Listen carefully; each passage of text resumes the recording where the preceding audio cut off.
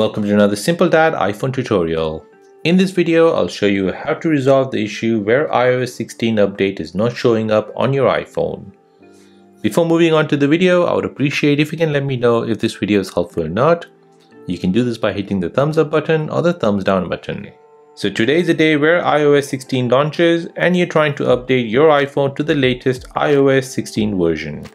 However, you're not seeing that update. So there could be many reasons why you don't see this update and I'll show you how to fix this issue. So the very first reason could be compatibility.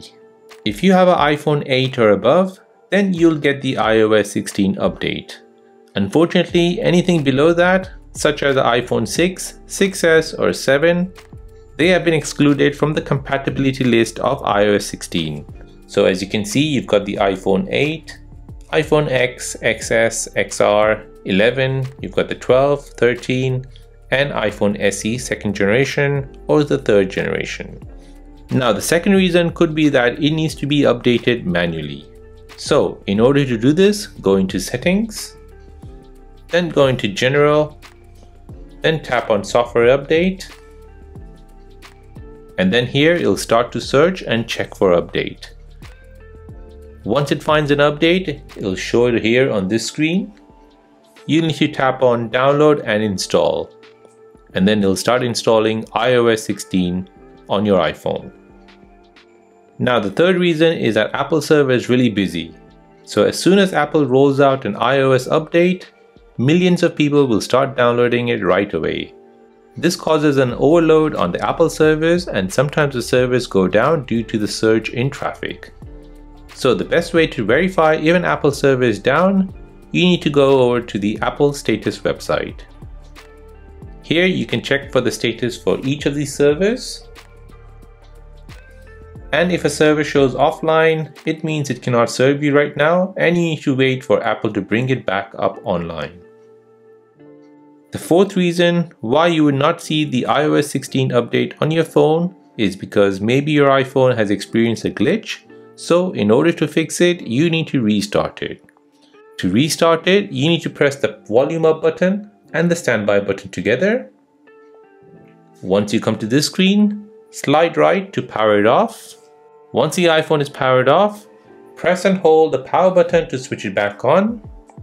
Once it is switched back on, go ahead and check if you can see the iOS 16 update in settings.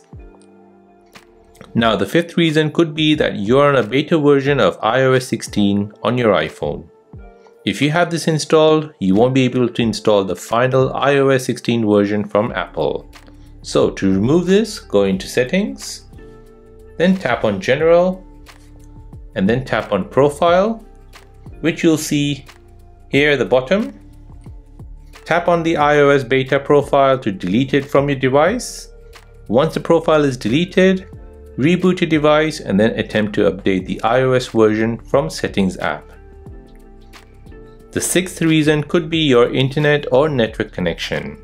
So to resolve this, first open up a web browser on your phone, go over to a website and see if internet is working.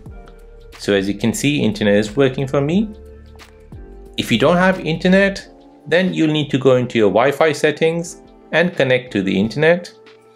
If you have internet but you still don't see the update, then you need to reset your network connection to factory default. So to do this, you need to go into settings, then tap on general, and then scroll down and tap on transfer or reset iPhone, and then tap on reset, then tap on reset network connection. Enter in your passcode and then enter in again. And now press on reset network settings to reset your network settings. Once network settings has been reset, go ahead and check for software update on your iPhone for iOS 16. Hopefully by following all these steps I have mentioned in this video we resolve your issue of iOS 16 not showing up on your iPhone. If this video is helpful then please subscribe to see more videos like this if you have any other questions, then please do let me know in the comment section down below.